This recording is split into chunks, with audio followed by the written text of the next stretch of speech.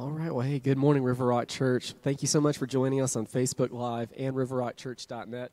We want to say a very special happy Mother's Day to all the moms out there. Thank you so much for tuning in and joining us uh, in this virtual setting. We so wish that you could be here with us, but we just want to bless you, and we know that the Holy Spirit is with you wherever you're at. So thank you so much for joining us, uh, church family, connect groups. We thank you so much for joining us wherever you're watching, even if you're watching out of state or another country. Thank you so much for spending part of your Sunday with us, whether it's live on the internet now or on a repeat later. So we're going to jump into some worship, and we're going to celebrate what Jesus has done for us. Amen.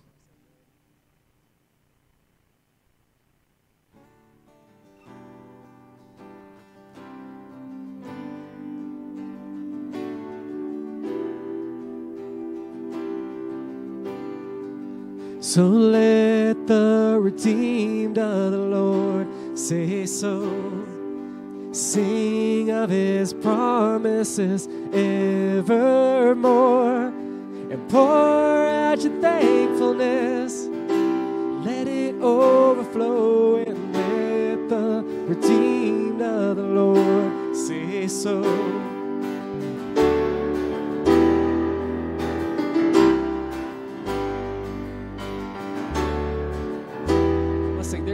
Let me out. He led me out of the desert, brought me into his streams, river of living water. Turned my bitter into sweet, all my burdens are lifted. Took the shackles off my feet, cause there's no sound louder than a captive set free. So let the redeemed say so. Sing of his promises evermore. Pour out your faithfulness, let it overflow, the of the Lord say so.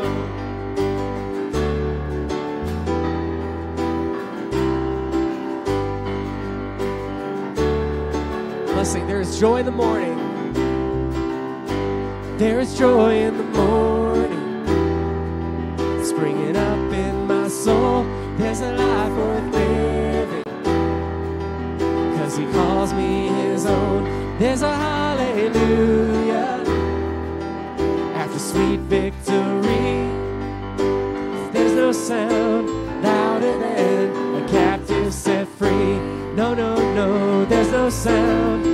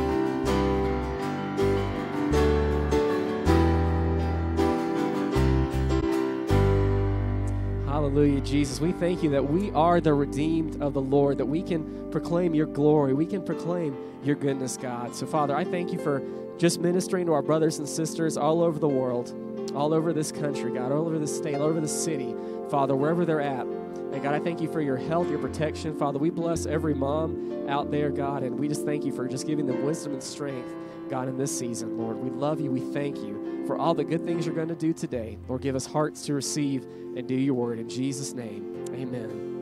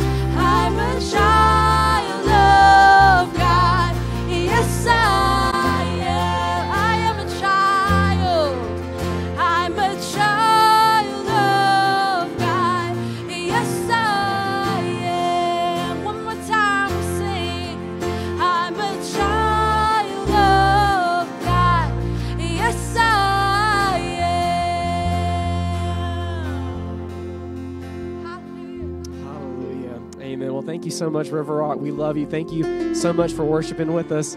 Uh, right now, we're going to come back up after the service. Once again, moms, happy Mother's Day to each one of you. And online, family, if you could please help me welcome Pastor Rick McFarland.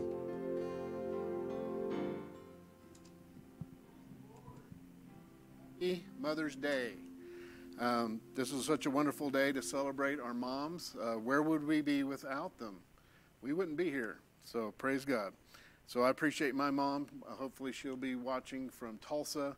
And so if your moms are with you right now, uh, where you're at, give lean over and give them a kiss and say I love you. And so if they are not with you, please give them a call if they are alive. So praise God. So let's uh, let's just just pray for our mothers and just bless them today. And so, uh, Father, we just thank you so much for our mothers.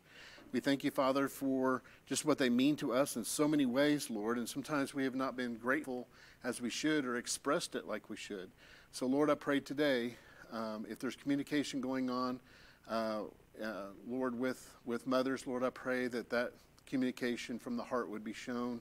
Lord, I just thank you, Father, that that you uh, have a just a blessing for mothers today, Lord. And I just pray that you let them know that that they did a good job and and they sowed the word of God into their kids, and and even if their kids are strayed away, the word of God sown uh, will bring them back. That when they are old, they won't depart from it. So, Lord, if there's strained relationships between mothers and sons, mothers and daughters, or mothers and grandchildren, Lord, I pray that you'd restore relationships, Lord and, and we thank you for doing that right now in the name of Jesus. So Lord, we bless our mothers in Jesus' name. Amen. Praise God. Well, we, I've come out of hibernation and actually got a haircut. I feel human. Hallelujah. And so things are starting to slowly come back. Businesses are starting to open back up, and can't wait for the restaurants to open up and stuff like that. So very soon that that'll take place. So uh, and graduations are taking place. So, congratulations if you are graduating any uh, level of school, if that's high school, if that is uh, college or Charis Bible College. So, we just want to celebrate you. And so, uh, we do want to um, have a meeting with the church. And so, this Wednesday, we're going to have a live Zoom meeting at 6 p.m. for those that can. And so we're going to be sending an, an, an, email link out, a Zoom link for you to get on. And so we want to celebrate those that are graduating. We also want to pray for those that are going to be leaving the church and going somewhere else.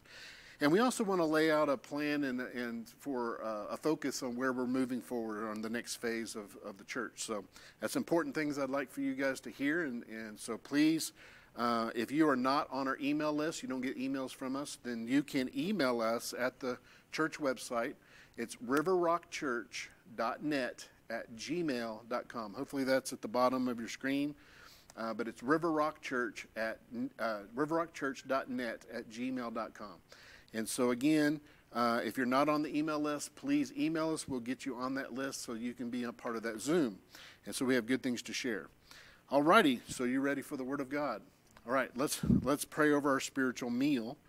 And so, uh, Father, we just thank you for the Word of God and that it's already blessed and will bless us as we open our heart and receive it with, with teachableness, with meekness of heart. And we thank you, Holy Spirit, you're the divine teacher. We call upon you to teach and uh, break this word apart and minister to every individual heart. Father, anoint the eyes, ears, and hearts of your saints and open them by the gift of your grace and cause them to see, hear, and understand what you're saying. Break it apart minister it to them exactly how they need it. We thank you that you're doing this miracle right now in the name of Jesus. Everybody say amen. All right. So we're going to actually finish chapter 2 of Romans by the grace and faith of God. And so Romans chapter 2, we're in verse 19 through verse 29. So let's read that and then we'll unpack it. Romans 2 19 says, and, and are confident that you or yourself are a guide to the blind, a light to those who are in darkness, an instructor of the foolish, a teacher of babes, having the form of knowledge and truth that's in the law you, therefore, who teach another, do you not teach yourself? You who preach that a man should not steal, do you steal? You who say, do not commit adultery, do you commit adultery? You who abhor idols, do you rob temples? You who make your boast in the law, do you dishonor God through breaking the law? For the name of God is blasphemed among the Gentiles because of you, as it is written. For the circumcision is indeed profitable if you keep the law. But if you are a breaker of the law, your circumcision has become uncircumcision. Therefore, if an uncircumcised man keeps the righteous requirements of the law, will not his uncircumcision be counted as circumcision? And will not the physically uncircumcised, if he fulfills the law, judge you who, even with your written code in circumcision, are a transgressor of the law? For he is not a Jew who is one outwardly, nor is circumcision that which is outward in the flesh, but he is a Jew who is one inwardly. And circumcision is that of the heart, in the spirit, not in the letter, whose praise is not from men, but from God. So let's go back up to verse 19. Let's unpack this. And says, And you are confident that you yourselves are a guide to the blind, a light to those who are in darkness. In this chapter, Paul is speaking to the religious Jew. Chapter 1, he's speaking to the, un, to the heathen, the Gentiles. But in chapter 2, he's speaking to the, to the Jew. The Jews are sitting at the Gentiles, judging the Gentiles for the list of sins Paul enumerates in chapter 1.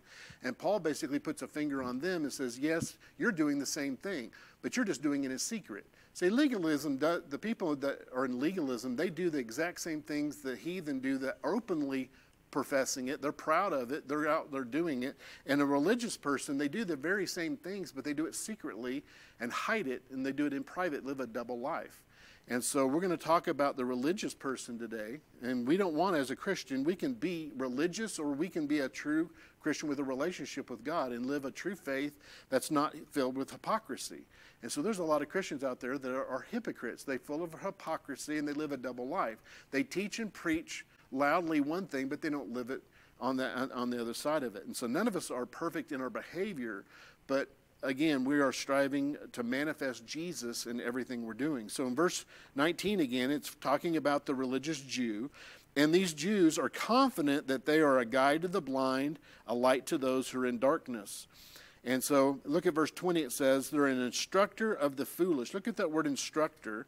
It's the Greek word which means a trainer of children. It's a Greek word that means a trainer of children. And so legalistic people, they boast in their maturity, especially Christians that are legalistic. The most legalistic Christians say that think they're so mature, and everybody else they need to teach, and that they see them as babies or immature ones that need to be grown up, and it was their job to raise them up. But actually, a legalistic Christian is a very immature person, and so again, they don't know it. And so, growth in Christ is a growth in grace.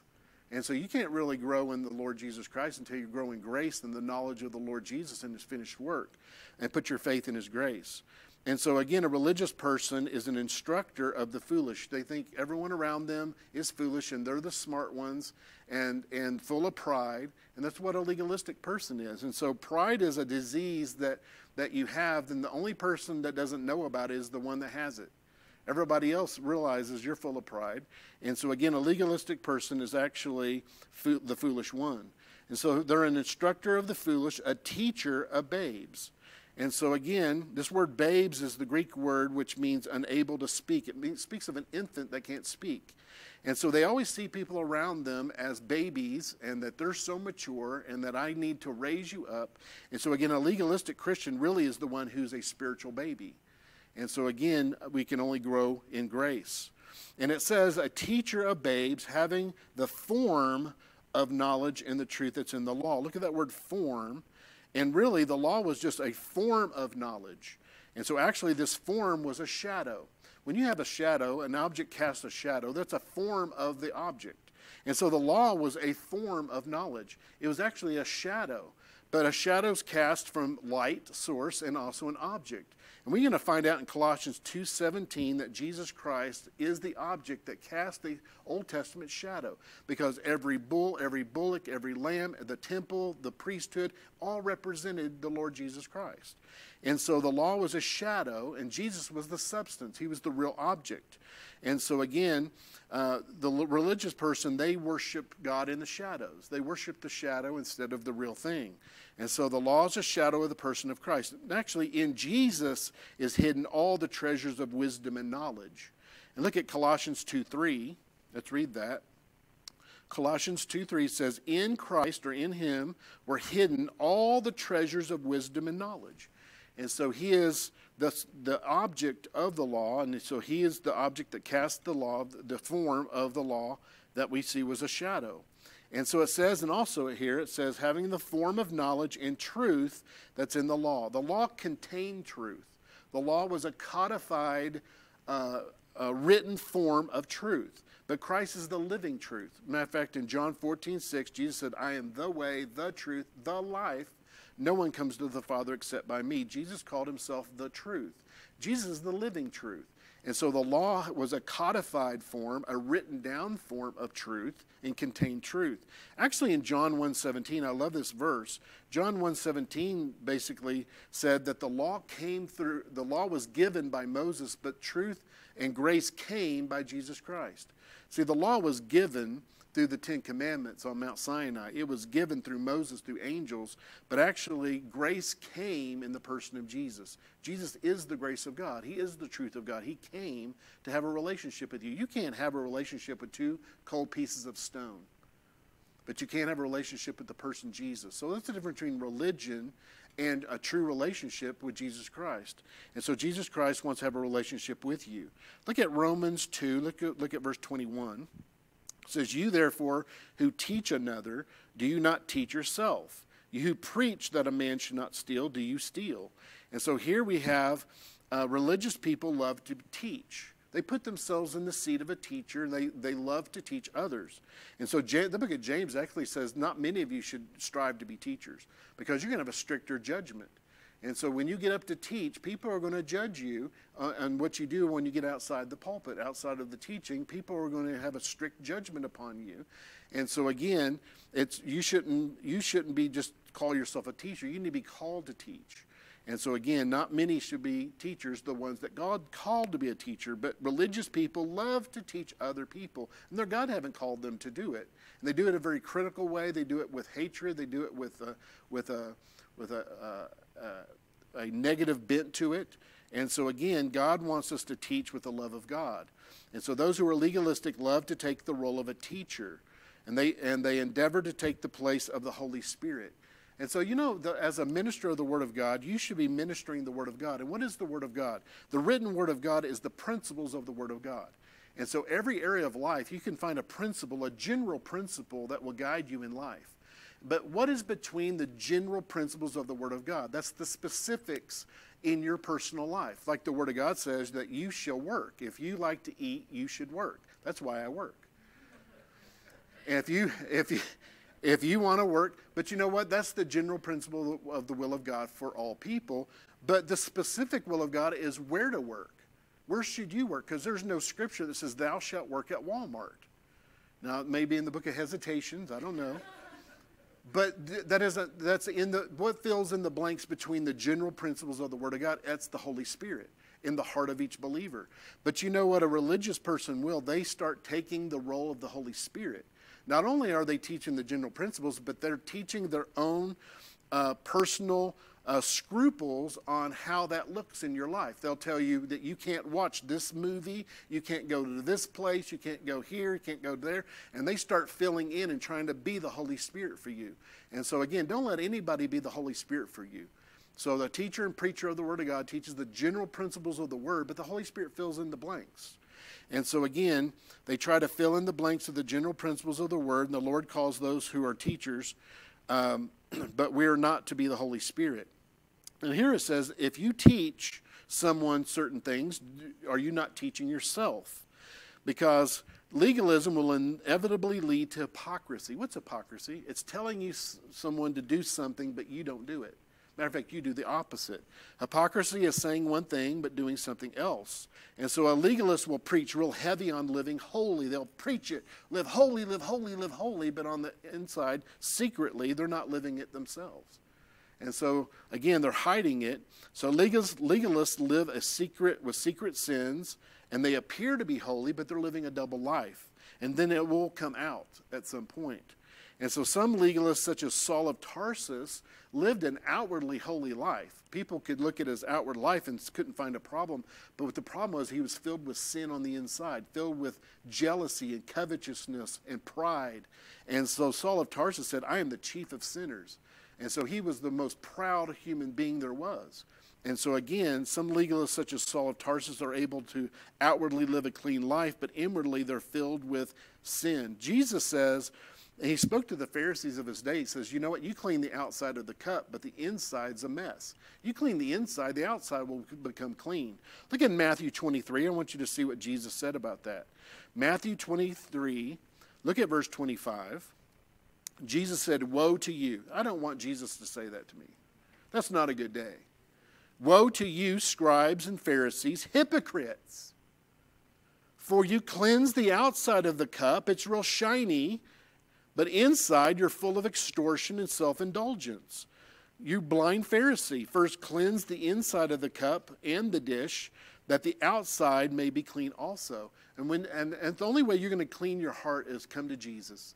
The blood of Jesus is going to cleanse your heart. You'll be justified, be born again, brand new on the inside. And then out, when you renew your mind, then your outward life will become cleansed. But it has to start from the inside out. And so again, religious people are always starting from the outside trying trying to be in, trying to change their actions to become righteous inside. And so it's the opposite. And so next it says, first he says that you teach another, do you not teach yourself? And then he says, you who preach that a man should not steal, do you steal? Here we find that they start out instructing, then they move to teaching, and then they go to preaching.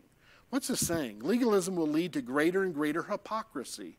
Legalists will go from instructing and teaching to then preaching. As their personal life becomes less and less of what they teach, they start to preach to others loudly on living holy. They just get louder and louder. They do this in order to soothe their own conscience that's telling them that they're not doing it themselves. They try to drown it out by yelling and preaching loudly to others what they ought to be doing. So it's interesting that those who are the most legalistic are the loudest preachers. Those who scream their messages usually are the most legalistic. Legalism and legalistic preachers rely on the flesh, fear, and intimidation. Loud preaching is relied upon instead of the gentle, convincing power of the Holy Spirit pastor, minister, teacher, you don't have to preach loudly and try to get the people to see what you're saying. You just proclaim the word of God in gentleness and meekness and the love of God. The Holy Spirit will touch hearts. The Holy Spirit will break the hardest of hearts. And so, again, most people don't like being yelled at, so they tune it out and they leave. We must rely on the deliver. We shouldn't rely on our delivery, but on the deliverer. That's the power of the Holy Spirit. So legalists here, there it says that you preach that a man should not steal. Do you steal? And so legalists are thieves. You know Satan is the first thief. It says he's the, the thief comes to steal, kill, and destroy. Jesus, Satan is the first thief. What, how, what, was he, what was he trying to steal? God's glory. He was trying to put attention on himself. He's trying to glorify himself, and he actually was stealing glory from God to give it to himself.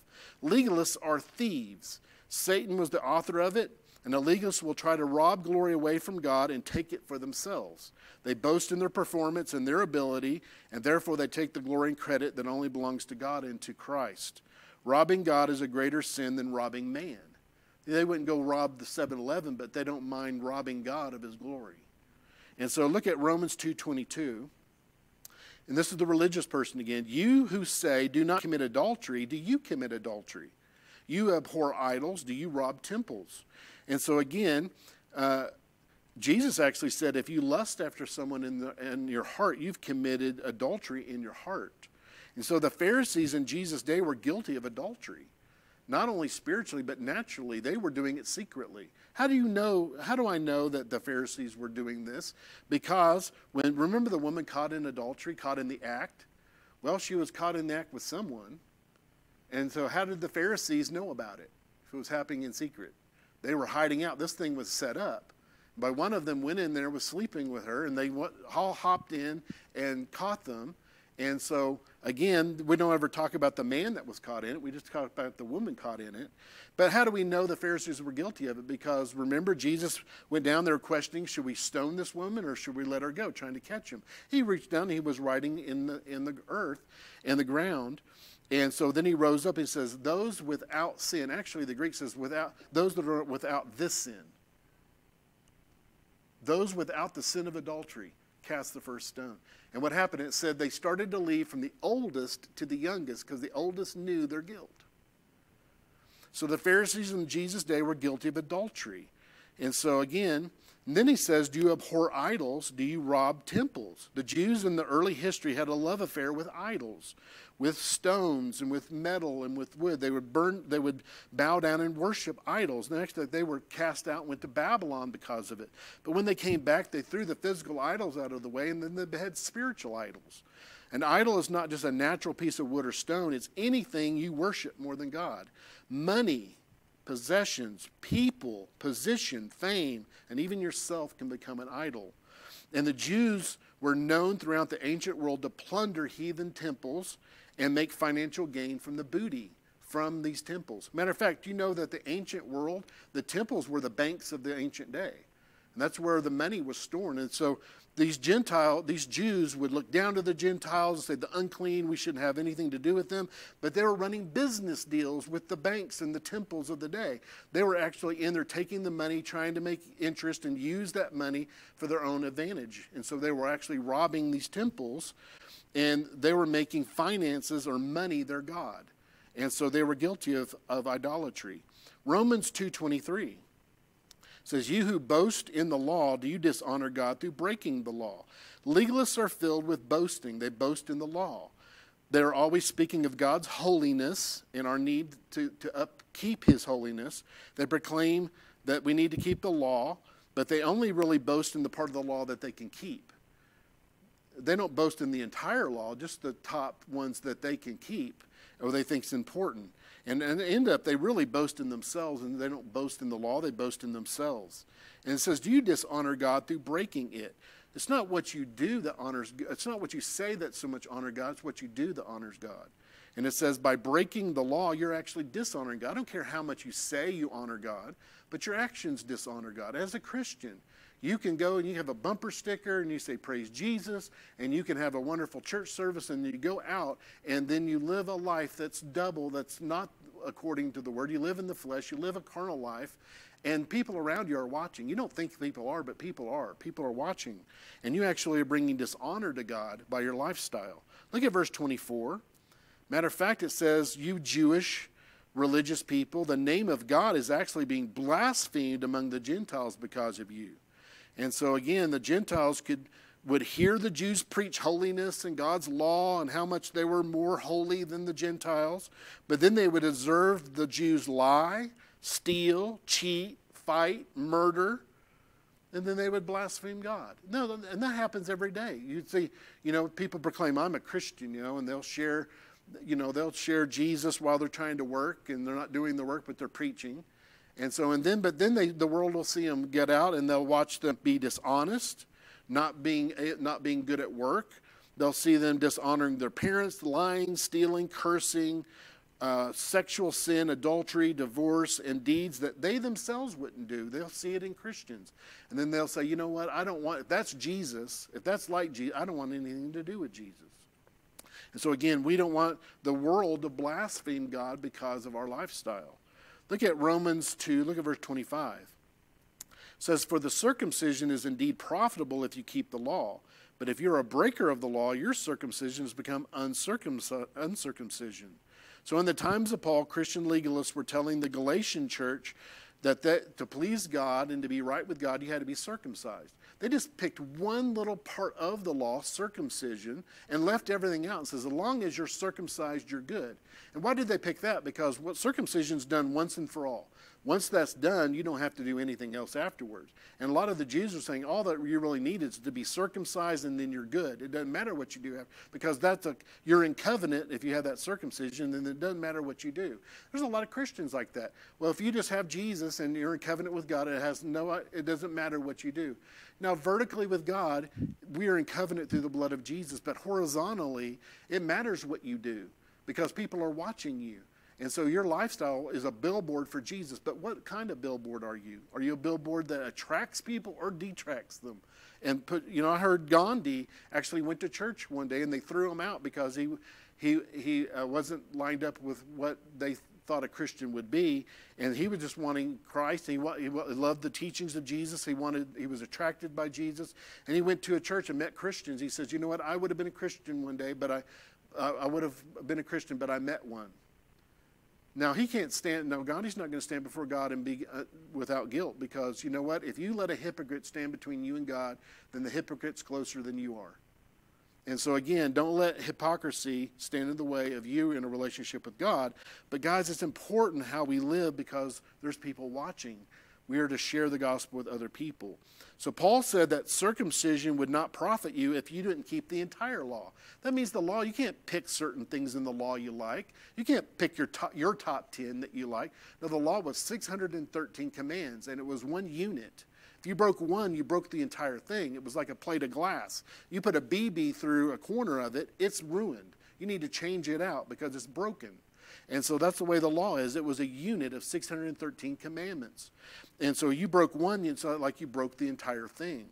And so again, holiness is profitable towards God only if you have a perfect holiness. And so you can't pick and choose what to be holy in and what not to be holy in. God's holy standard is 100% perfection, and only one man's done that. His name is Jesus. When you accept him as Lord and Savior, his righteousness now becomes your righteousness, and now you have a standing before God on a perfect righteousness. So we become holy by faith, not by our outward observance of rules, because we're again we're not perfect in our, our behavior. Look in the book of Acts, Acts 26, look at verse 18. This is how we, we become holy, truly holy in God's eyes. Acts 26, look at verse 18, says that Paul's call was to open the eyes of the Gentiles in order to turn them from darkness to light, from the power of Satan to God, that they may receive forgiveness of sins and an inheritance among those who are sanctified by faith in me. That word sanctified is a word that means to be made holy. To be made holy. And we are made holy not by our actions, not by our trying to observe the law, but we are made holy by faith that's in Jesus. When you put your faith in Jesus, his holiness becomes your holiness. And so Jesus actually becomes comes on the inside of you, and so he's your life source and out from trusting Jesus on the inside, he will bear his fruit in your life. He's the vine, you're the branches. As you trust in the vine, he manifests that holiness from the inside out. It's not from the outside in. And so, but if you're a breaker of the law, your circumcision has become uncircumcision. So again, if you break the law in any degree, you're, you're guilty of sin and you're a sinner. So no Jew except Jesus kept the entire law. And so that means that both Gentile and Jew, none of them kept the law. Therefore, both of them needed to be saved. Let me say this an unsaved Jew is no better off than an unsaved Gentile. You know, there's many today that believe the Jews have a different covenant with God and they don't need to receive Jesus. And so that's not the case because it says there's only one name given among men under heaven which we must be saved, but Jesus Christ. That's Acts 4:12. And so again, why would Paul go to the Jews to be beaten and hit with stones and stuff preaching the gospel if the Jews didn't need Jesus? And so again, an unsaved Jew is no better off than an unsaved Gentile. And so the uncircumcised were considered the heathen that had no covenant with God, no hope, and, and, and had no God in the world. That's Ephesians 2.12. And so the Gentiles looked down, the, were looked down upon. And actually the Gentiles were called the sinners of the Gentiles. But you know what? The Jews, if you don't keep the law, you become the sinners of the Jews. Both are sinful. Both are sinners by nature, and both need Jesus. Let's go to verse 26. Romans 2:26 says, "Therefore, if an uncircumcised man keeps the righteous requirements of the law, will not his uncircumcision be counted as circumcision?" What does this mean? This means that if a Gentile gets saved, gets born again, and puts his faith in Jesus, then that righteousness of Jesus becomes his righteousness. And so, and then when a Gentile born again believer starts walking in the love of God, living the branch, manifesting Jesus the vine on the inside of him, then he can actually fulfill the requirements of the law. Because Jesus says that the love of God, walking in the love towards God and towards man, fulfills the law. How do we fulfill the law today? Love the love of God. We don't fill in our own energy, our own strength, but we tap into the love of God that's been shed abroad in our heart through the new birth. And we allow God to love through us, then we, can, then we fulfill the law when we walk in love. Because when you walk in love, you're not, you're not going to lie against someone, you're not going to kill somebody, you're not going to commit adultery against that person. Anytime you sin is a step out of the love of God. But if you know the love of God, receiving the love of God, walking in the love of God, you're going to walk naturally by more by accident, you're going to fulfill the law by walking in God's love. And so the only way a Jew or Gentile can keep the righteous requirements of the law is be born again by faith in Jesus and then again walk in his love. And so look at verse 27. Romans 2, look at verse 27. It says, Will not the physically uncircumcised, if he fulfills the law, judge you, who even with your written code and circumcision uh, are a transgressor of the law? And so basically, he's saying that if a Gentile gets saved, even though he's not physically circumcised, and he's walking out the love of God, fulfilling the requirements of the law, then actually he's closer to God than you that has circumcision. That's breaking the law. And so look at verse 28. It says, For he is not a Jew who is one outwardly. Now, this would get Paul in big trouble here. This would just give a heart attack to the Jews. Because the Jews thought, well, I am born of Abraham, Isaac, and Jacob. I'm a natural Jew. I have circumcision. I'm a Jew. You're a nasty Gentile. And God says, no, what is a Jew? A Jew is someone that actually trusts God, believes in the Messiah, trusts in Him, is a follower of God. And so a, a Jew is not one that's just outwardly in the flesh. It says, He is not a Jew who is one outwardly, nor is circumcision that which is in the outward in the flesh. Jesus told the religious Jews of his day, that he could raise up natural descendants of Abraham from rocks. So these stones over here, I can raise up descendants of Abraham. Now, I don't know how that would be possible, but if Jesus said so, he could do it. Next of all, as Abraham was saved by faith, he became the first Jew. There weren't Jews before Abraham. Abraham got saved by faith as a Gentile and became the first Jew. What's a Jew? One who believes in God by faith. And so there are some who preach a dual covenant. They say the natural Jews are all saved because they're descendants of Abraham. This is not the case. A natural Jew that rejects Christ will spend eternity in hell, just like a Gentile does that rejects Jesus. There is no name under heaven by which we must be saved than Jesus Christ. That's Acts 4:12. And actually, when you get saved, you become a spiritual Jew. That's good news because Jews are blessed. You're blessed. You know, you're the, the blessing of Abraham's on you. Now, well, I don't see it.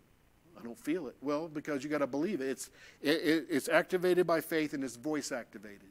The blessing of Abraham is, is, is faith activated and voice activated.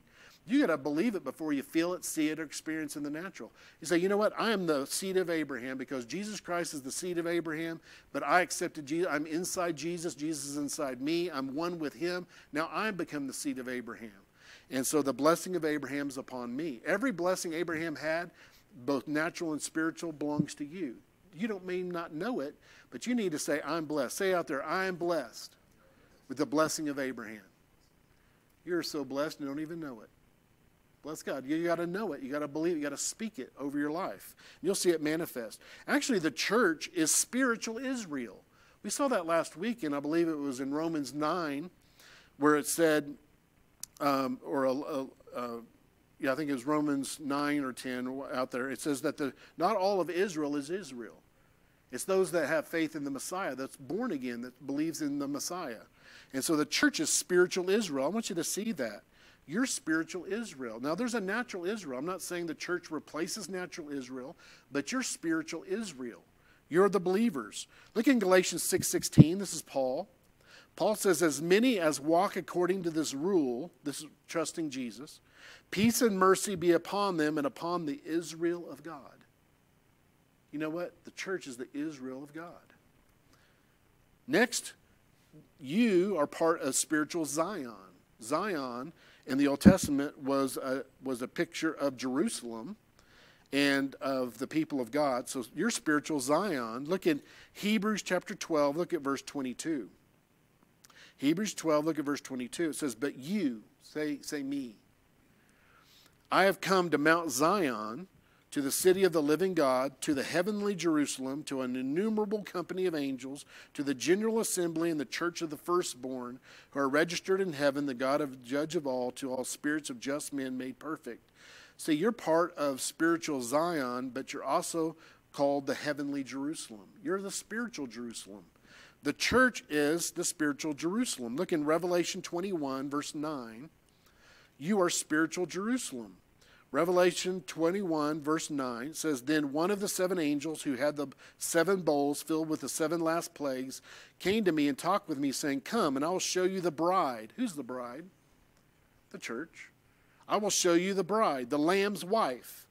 And he carried me away to the, in the Spirit to a great and high mountain and showed me the great city, the holy Jerusalem, descending out of heaven from God. You are lively stones built up in him. He's the cornerstone, and you're the lively, the living stones, and you're spiritual Jerusalem. You're the heavenly Zion. You are the um, Israel of God. And so it says the believing Gentiles are actually believing Gentiles are grafted into the spiritual tree of Israel. Look at Romans chapter 11, verse 17. We're coming to the end here. Romans 11, look at verse 17. You're actually grafted into spiritual Israel. Romans 11, look at verse 17. Paul says, And if some of the branches were broken off, that's the religious Jews that didn't believe in the Messiah, rejected Jesus, they were broken off. And you, being a wild olive tree, were grafted in among them, and with them, that's the believing Jews, have become a partaker of the root and the fatness of the olive tree. And so the olive tree is spiritual Israel. And so you've been grafted in when you're born again, and you are part of that covenant. As much as a believing Jew, you're just of equal heir to Abraham. And so look at verse 29, we'll end this. It says, But who is a Jew? This verse says, But he's a Jew who is one inwardly. And circumcision is that of the heart in the spirit, not in the letter, whose praise is not from men, but from God. And so Christianity is a byproduct of union with Christ in your spirit, your born again spirit. By this union, the fruit of God is developed outwardly. Religion is about taping on plastic fruit. You ever met someone that's so fake? They just put plastic fruit over them. They look, they look like the fruit of the loom guy. Now, we're to bear true fruit, not plastic fruit. And so, Jew, religious people, legalistic, they just have plastic fruit.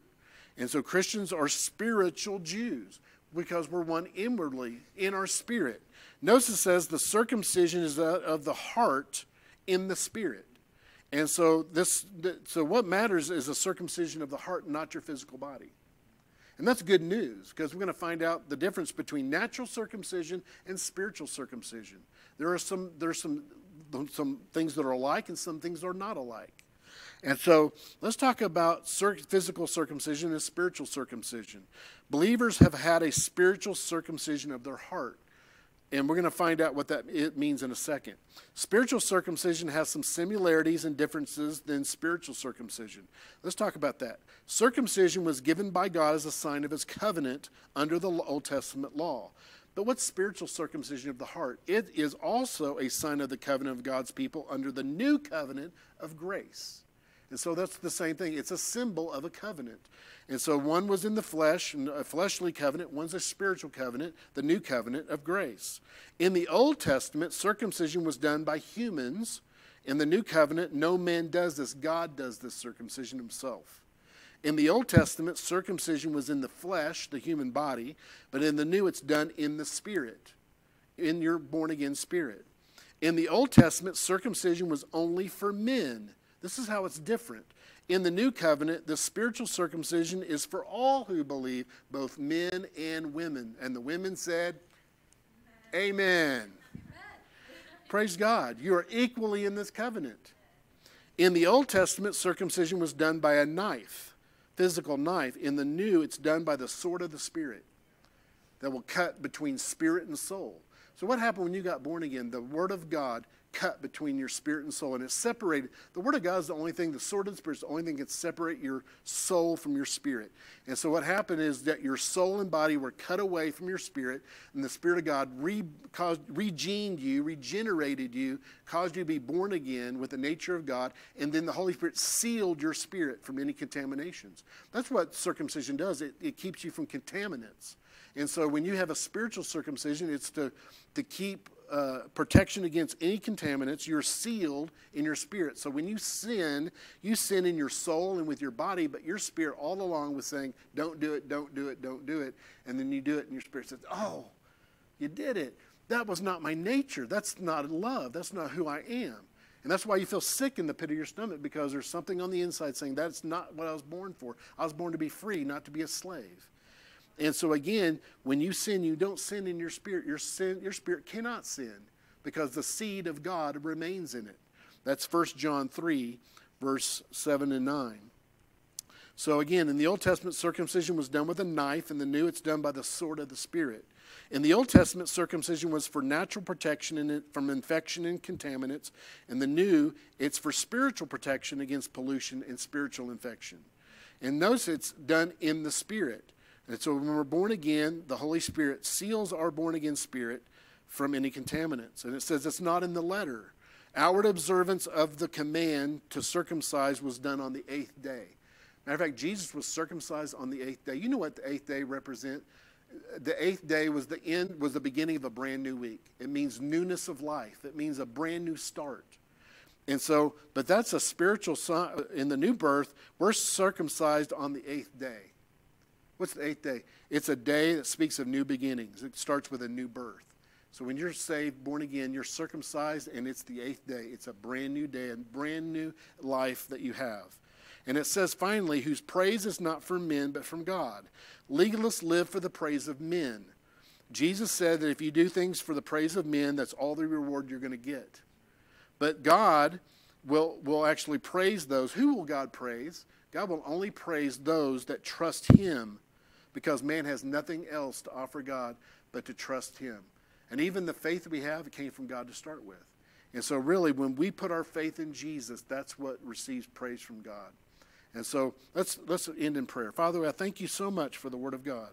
I thank you that you included us Gentiles into this covenant, that you brought us in, Lord, and you cleansed us from our sin, and you caused us to be born again, and to circumcise us in our spirit so that we become a spiritual Jew. We become spiritual Israel. We become spiritual Jerusalem, spiritual Zion.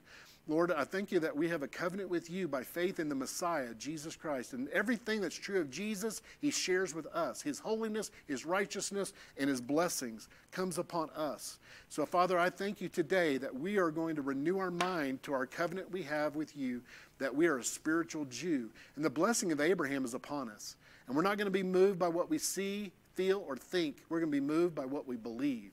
And we're going to speak and activate this covenant by faith that we are blessed. Lord, we are a spiritual Jew. We're spiritual Israel, and the blessing of God is upon us right now. And we're, we're uh, anointed and, and, and uh, we're anointed to prosper, Lord, in every area spiritually, naturally, spiritually, physically, emotionally, uh, financially, every area we need it. That blessing's working in our lives. We speak it in Jesus' name. Lord, we thank you, we magnify you, we truly boast in you and in the Lord Jesus Christ, and we worship you in the Spirit. Lord, we thank you for it in Jesus' name. Amen. Let's worship the Lord. I'll be back up and get ready for your communion elements, and then we'll also receive our offering. Amen, church. Well, let's celebrate that that new covenant, that that peace that we have with God because what He's done. Amen. We're going to celebrate God's freedom right now, and whether we're Jew or Gentile, we are all in that family of God now. Amen.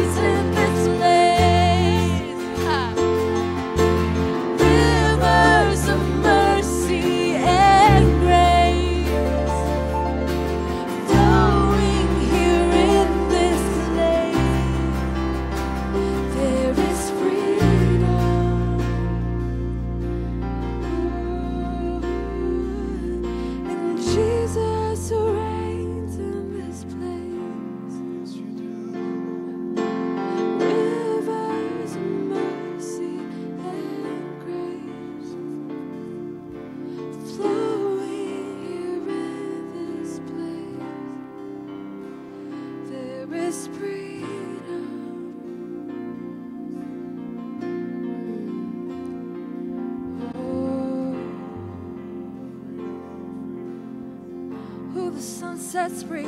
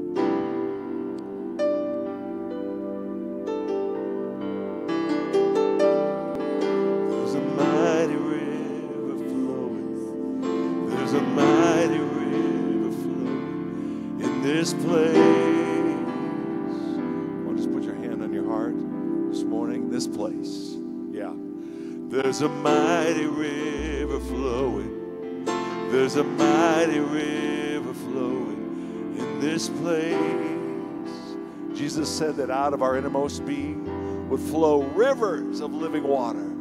There's a mighty river flowing. There's a mighty river flowing in this place.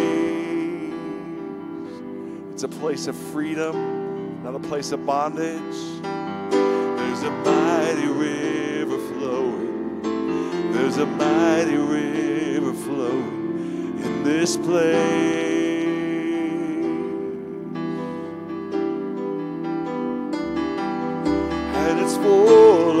compassion, full of power, full of glory. It's full of grace.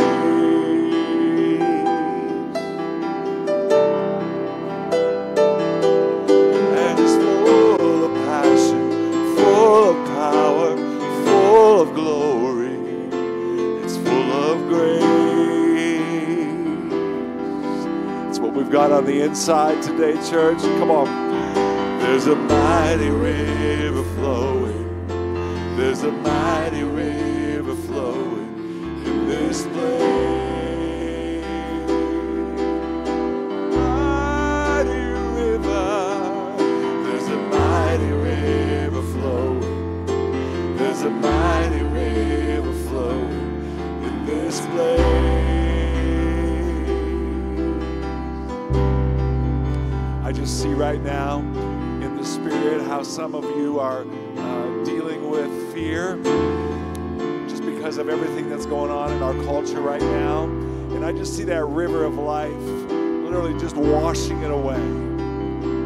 It's like it's just going downstream. Just let that fear go right now as the perfect love of God. Just lets that go right downstream. Hallelujah. No sickness, no disease, no fear, no bondage. Hallelujah. The river is here.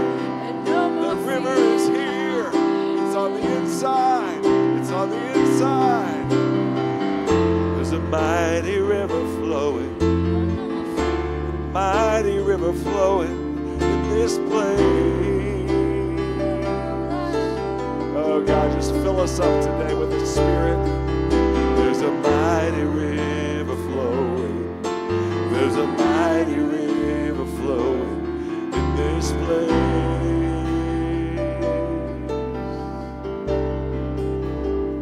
What's in here?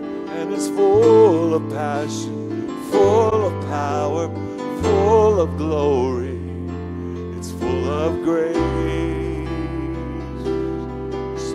For the new covenant, Lord God. Hallelujah. And it's full of passion, full of power, full of glory. It's full of grace.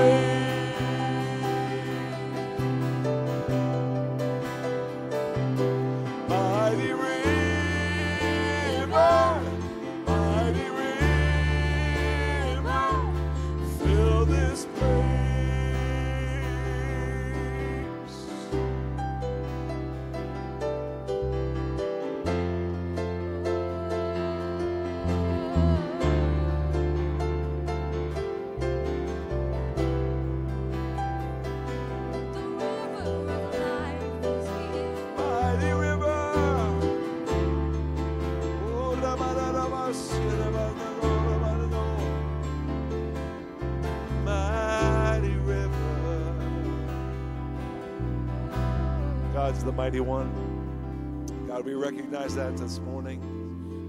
As your body, as the body of Christ, you are the mighty one in the midst of us. You are the greater one. What's outside is not greater than what's inside.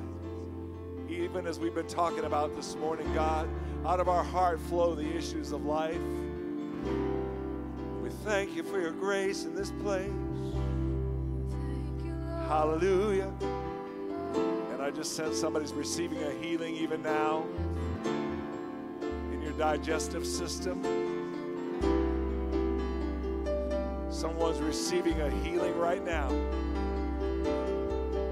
Come on, just open up your heart. Let that river flow out of your innermost being. Out of the abundance of your heart, your mouth will speak, your tongue will sing.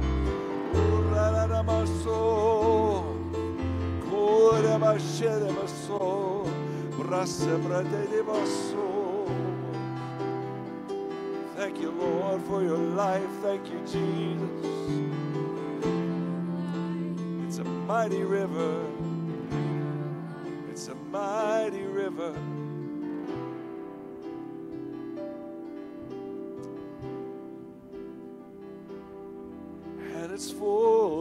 compassion, full of power, full of glory. Christ in you, the hope of glory. It's full of grace.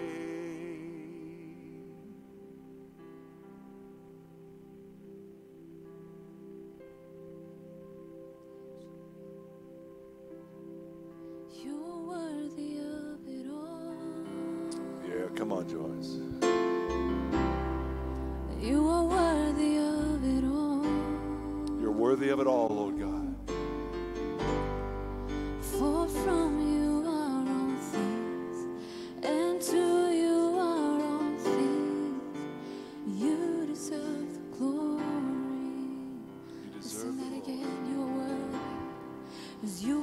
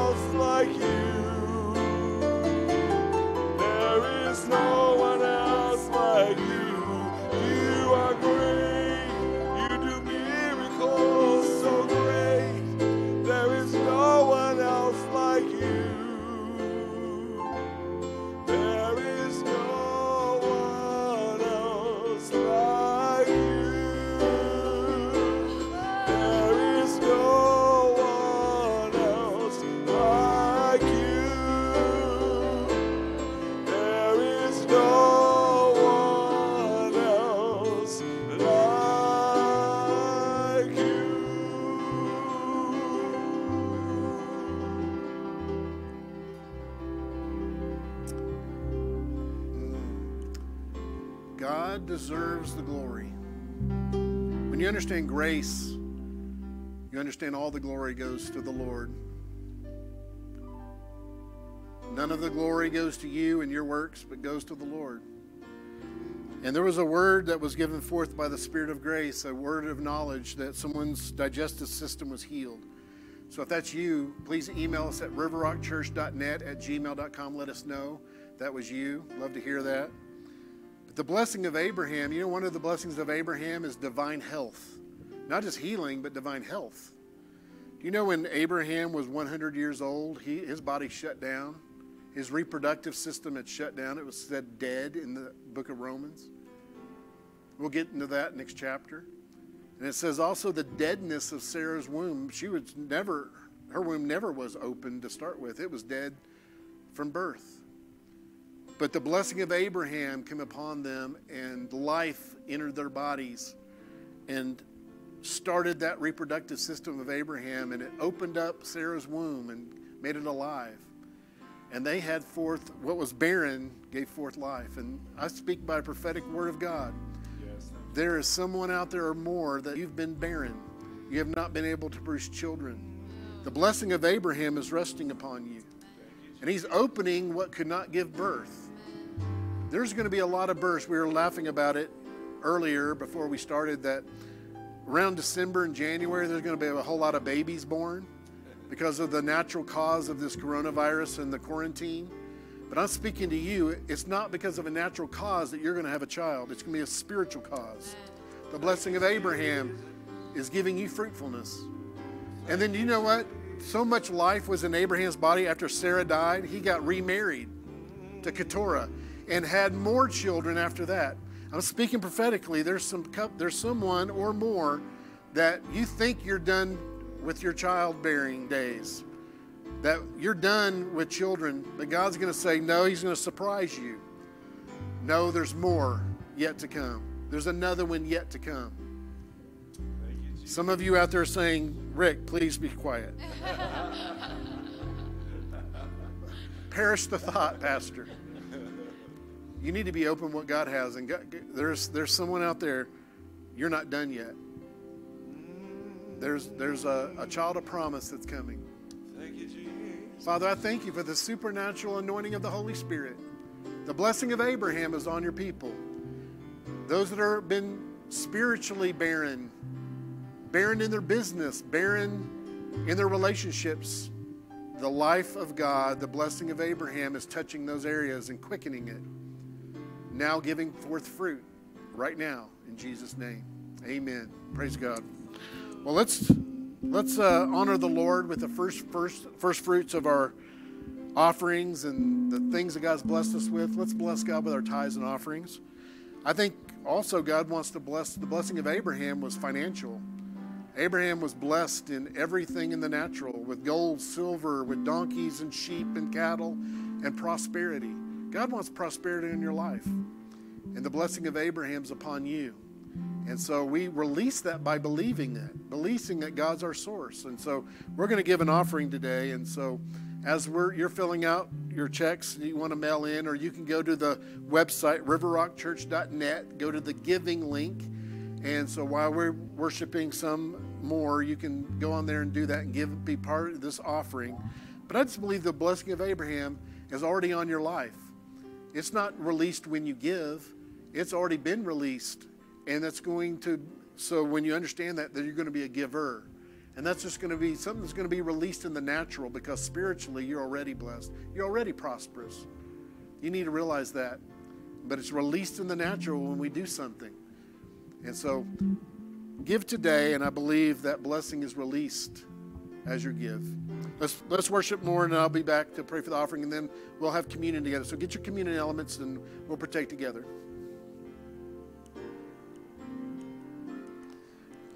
What can wash away my sin? Nothing but the blood of Jesus. What can whole again? Nothing but the blood of Jesus.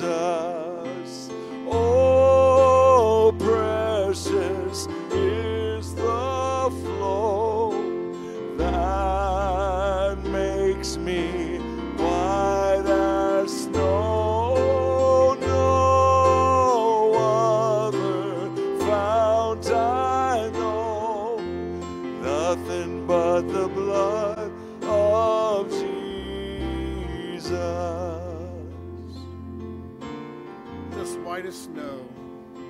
nothing but the blood of Jesus.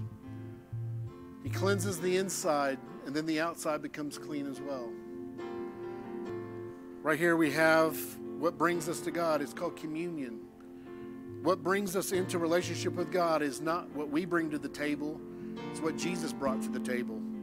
He brought his body that was broken for us, he brought his blood that was shed for the remission of our sins so we can have righteousness. The night Jesus was betrayed, he took bread and broke it and said, Take, eat. This is my body broken for you. Through the bro- bro- broken body of Jesus, we have healing, divine health, and prosperity. All our natural needs are met. But the blood of Jesus, the same night after he had eaten and he took the cup and said, This is the cup of the new covenant. This is the cup of the new covenant for, the, for my blood shed for the remission of sins. Take and drink and do this in remembrance of me. Through the blood of Jesus, the forgiveness of all our sins, past, present, and future. It's the righteousness of God that we have a relationship with God. So let's partake together. Put our faith in Jesus and what he did for us, that we have the blessing of Abraham because of this. Amen.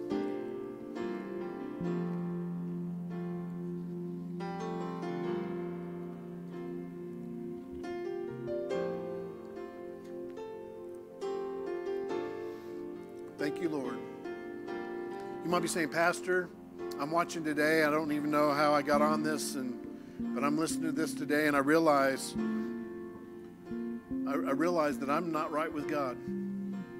I don't know Him like you say I know. I've been religious. I've been trying to go to do the church thing and the religious thing, but I, I realize today I don't really don't know Him. I've never accepted Him as my Lord and Savior. I've never been born again, like you've talked about. Well, you can receive Him today. Jesus loved you so much, He lived a perfect, sinless life for you. But He also went to the cross and He bore your sins on the cross. And He died for your sins. He shed His blood and died. He was buried for three days, three nights.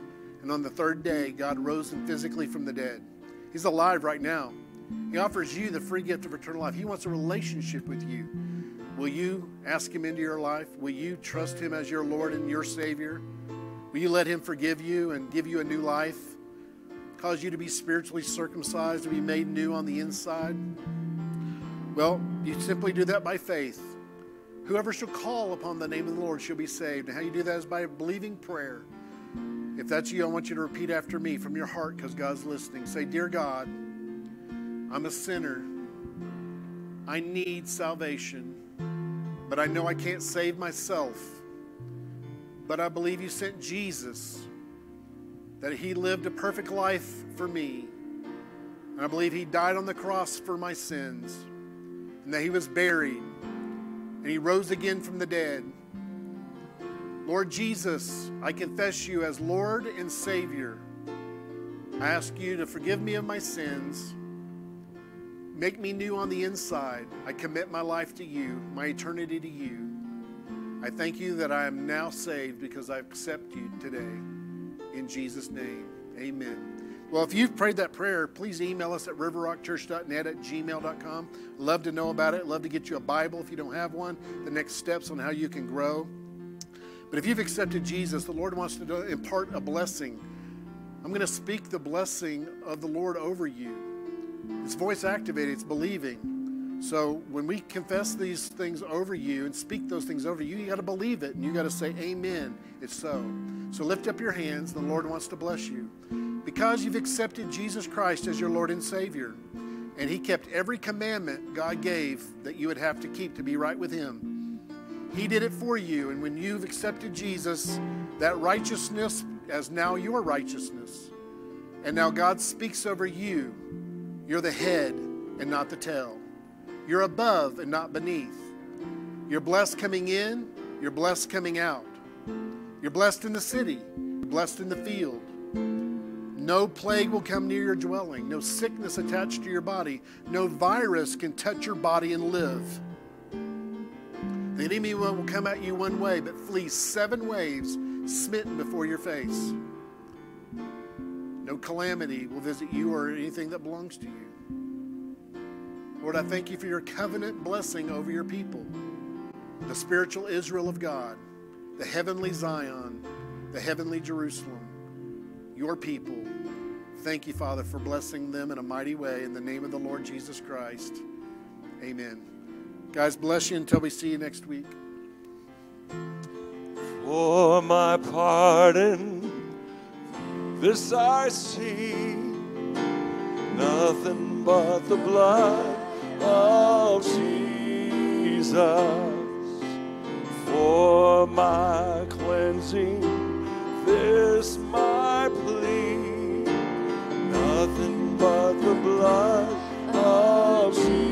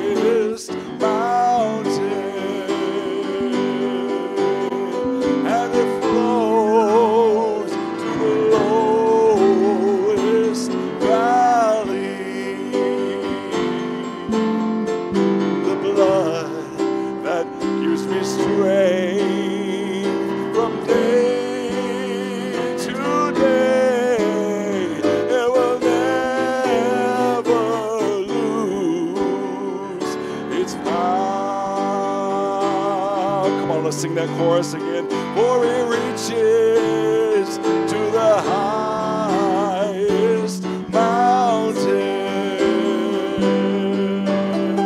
and it flows to the lowest valley. So grateful, God, is the blood that gives me strength from day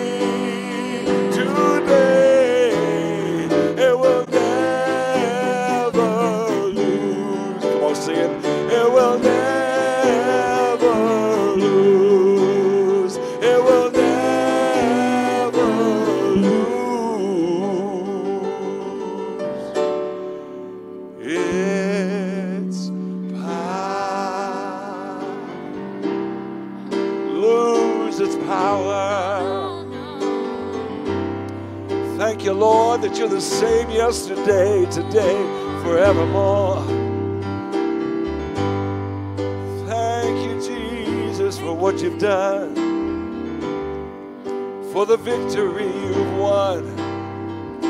God, we give you praise. Hallelujah. Amen. Thank you, Daniel. Praise God. Well, in the words of Andrew Wommack, if that doesn't light your fire, I'm, I'm afraid your wood might be wet.